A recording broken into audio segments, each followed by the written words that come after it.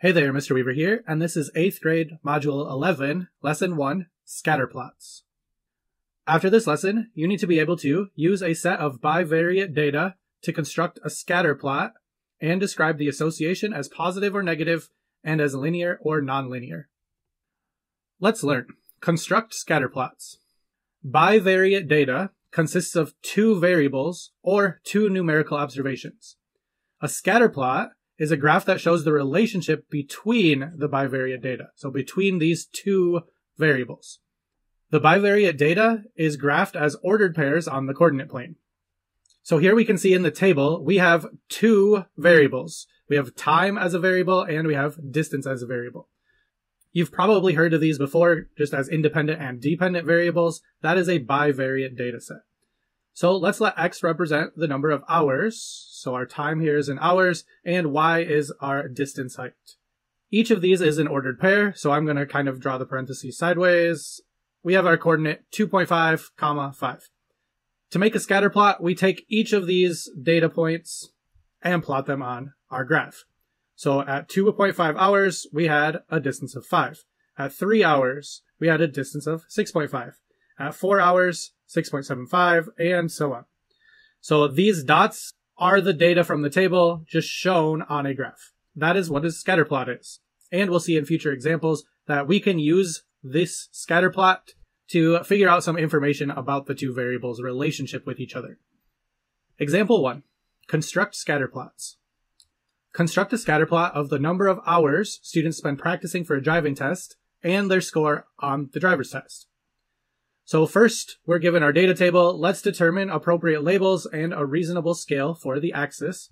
So if x is our number of hours and y is our test score, or x is our independent, y is our dependent, let's come up with a scale. So if I'm looking at my x-axis, just these numbers, my scores range from 6 at the lowest to 12 at the highest. So I don't really need to go much past 12, and I could just use a little break in my graph and start in year six. So if we start at five and end at 13, that gets all of our data points. And we can look, we're just counting by ones here. They're all increments of one.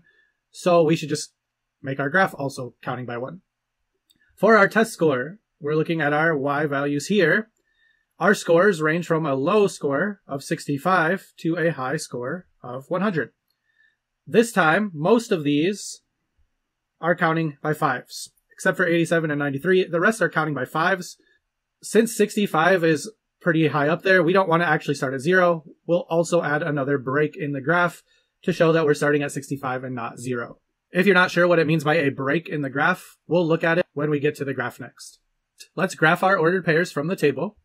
So we have 6 and 65. So if I go 6 hours, I'm going to go up to 65 and plot a point.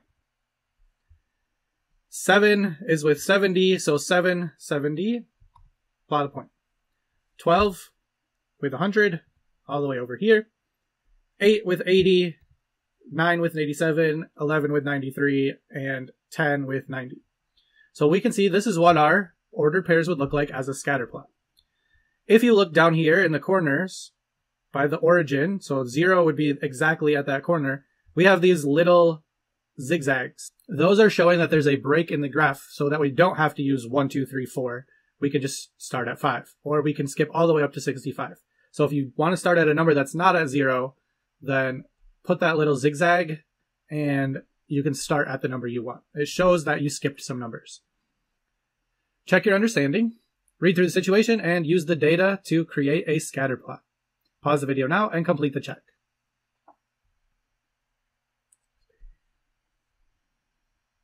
Let's check. First, let's put our scale. For this one, we can go 0 to 10. We really only need to go 0 to 6, so we could eliminate those 7, 8, 9, and 10, but there were 10 lines, so that's what I put. For our y-axis, our millions of viewers, we're going to start at 20 at this first line and then count by ones. I started at 20, that way I have a low score and a high score of 31, so I need to at least get to 32. And then I can start at 20. So I put this little line here, or I could make it a zigzag as we saw, showing that I have a break in the graph and I'm starting at 20. Now let's check where your points are plotted. So 1 was at 31.7, 2 just above 26, 3 at 25, 4 just below 25, 5 was at 22.6, so between 22 and 23, and then 6 just above 22. So it looks something like that. If you chose a different scale for your graph, it does not mean that you are wrong, but your graph should look approximately the same. It just might be a little bit more squished together or spread out depending on which scale you used. Let's learn. Interpret scatter plots. You can analyze the shape of the distribution of a scatter plot to investigate patterns of association between the two variables. These associations go generally with slope. So a positive association, the dots tend to go in an upward fashion to the right. As x increases, so going to the right, y also increases. Notice a positive association is similar to a positive slope. No association, there's not really any obvious pattern. Is it going upward, downward, straight across, vertical? Who knows? There's not any obvious pattern for you to tell. There is no association. This one does not really follow with slope, so be careful. A negative association, as x increases, y decreases. So going to the right, y is going down. A negative association works closely again with a negative slope. If the distribution of points on a scatter plot shows a positive or negative association, then we can determine if it's linear or nonlinear. So a linear, they're going to be pretty close to a straight line. It might not be perfect, but they're going to be pretty close to that line. And you would be able to say this line would have a positive slope or this line would have a negative slope. If it is nonlinear, you might think you could draw a line that kind of separates, but this one would follow more of a curve pattern to try to stay in the middle of those dots. So the dots here lie in the shape of a curve. This would be non-linear. And we might see some different types of nonlinear where maybe the dots go up and then back down, or like this where they're continuing to go up, or maybe they start flat and then go down. There are a bunch of different types of nonlinear. But if it looks like the data is curving, then it's probably nonlinear. The scatterplot below shows a positive nonlinear association. So we can see it's nonlinear because it's starting to curve. In that association, there is what's called a cluster. So they are a bunch of points that are close together. So all of these dots ended up about in the same place. Not exactly, but pretty close to each other. That is called a cluster. There is also one point that is way away from everything else. That is called an outlier. So if you have one point or maybe two or three points that happen to be way away, so like if there was another one over here or down here, those are not close to the trend of the dots. Those would be outliers. Example 2. Interpret scatterplots. The scatterplot shows the relationship between the amount of memory in a tablet and its cost. Interpret the scatterplot. Consider the different associations that we just saw and the positions of the dots. So if we're looking at our dots here, this would have what's called a variable association. That just means that the dots seem to be related to each other. If I look, it looks like it's kind of going in a straight line here. Maybe not perfect, but it's pretty close as the amount of memory increases, the cost increases, showing a positive association. As I just drew with our line, all of the data plots appear to be pretty close to the line. These two might be a little off. This one might be a little off as well. Maybe our line would be better if we drew it a little bit flatter, like there. But either way, this appears to make a reasonably straight line of our dots. So from what we can see, we could say this appears to be linear. Other things that we might notice in our graph, there's a cluster down here between 0 and 16. All those costs range between $50 and about 200 And there appears to be one outlier, maybe those two as well, depending on where we draw our line. But there's at least one. 128 gigabyte should not cost in the $800. Looking at our others, it should cost around 500 to $600. So we could say that is an outlier. Check your understanding. Which is the best interpretation for the scatter plot? Pause the video now and complete the check.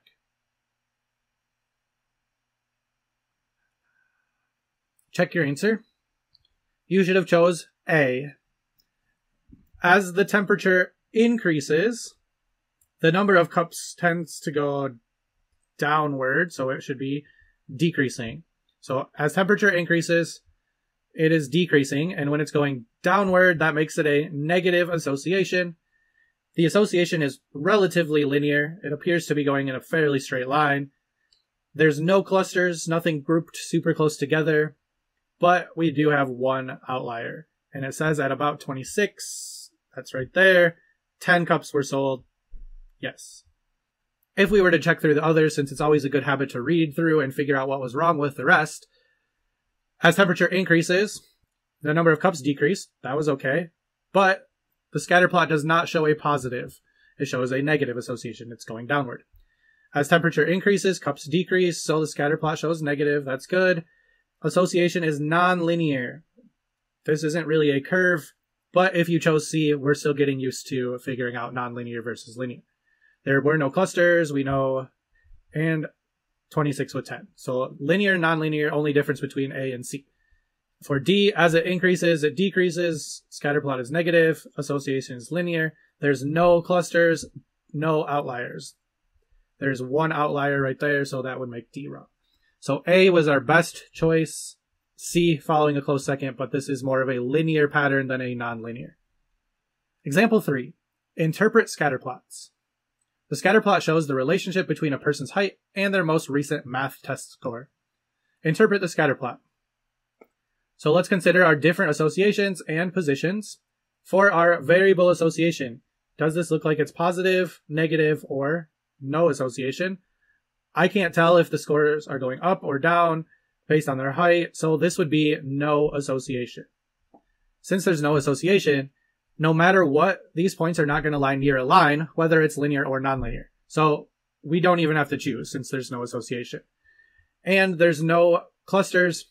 And if we don't know where the line is, then we can't tell if there's any outliers. So there's not much we can tell about this graph except that there's no association. Check your understanding. Which is the best interpretation of the scatter plot? Pause the video now and complete the check.